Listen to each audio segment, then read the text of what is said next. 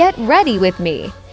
Miss Trunchbull Edition. The smell of maggots gets me up in the morning. Some light exercise keeps me fit. I then eat a healthy breakfast. We all have to treat ourselves sometimes. Discipline is key to a healthy lifestyle.